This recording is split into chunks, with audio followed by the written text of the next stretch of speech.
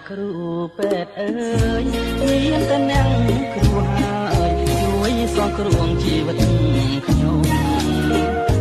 ឲ្យបានស្បាយផុតពីគ្រោះថ្នាក់ធំយ៉ាងមានធនឧត្តមទៅឲ្យផ្ទឹមមិនបានទេ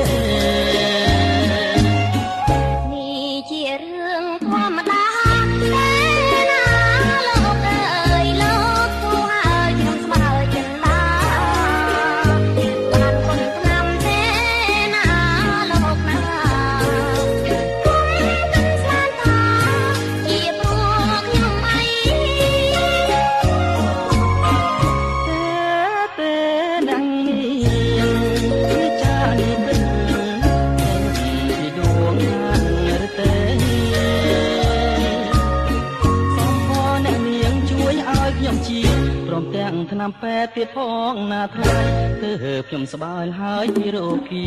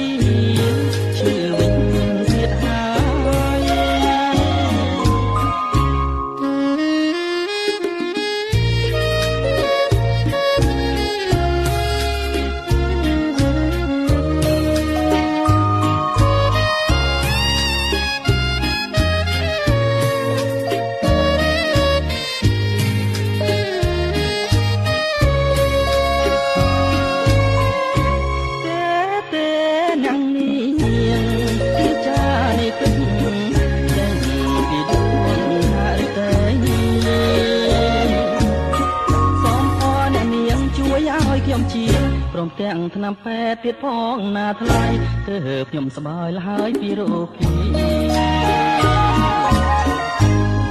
សូមលាសន្យាហើយអូ